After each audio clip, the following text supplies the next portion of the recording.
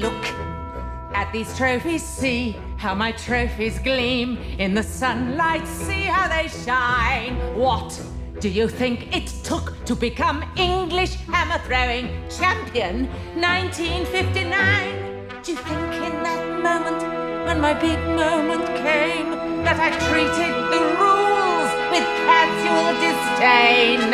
Well, like I stepped up to the circle, did I change my plan? Mm, what? As I chalked up my palms, did I wave my hands? I did not. As I started my spin, did I look at the view? Did I drift off and dream for a minute or two? Do you think I altered or amended my rotation? Do you think I altered my intended elevation? As the hammer took off, did I change my grunt from the grunt I had practiced for many a month? Not a jot, not a dot did I stray from the plot. Not a detail of my throw was adjusted or forgot. Not even when the hammer left my hands and sailed high up, up above the stands. Did I let myself go? No, no, no, no, no no, no, no. She's done! She is the best!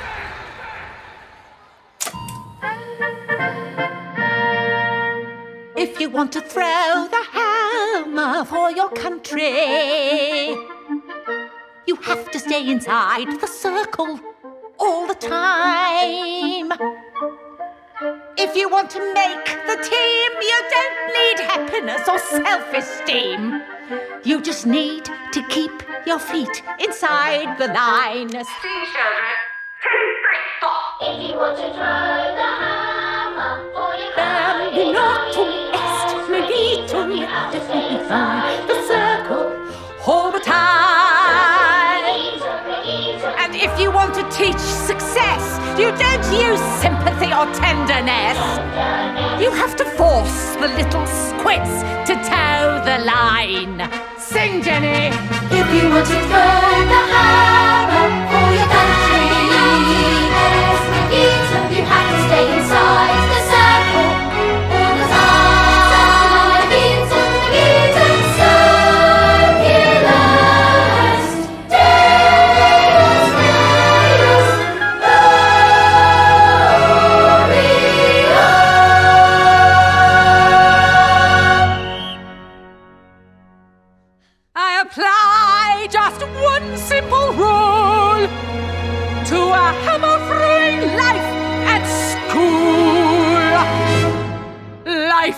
Ball, so learn to throw it.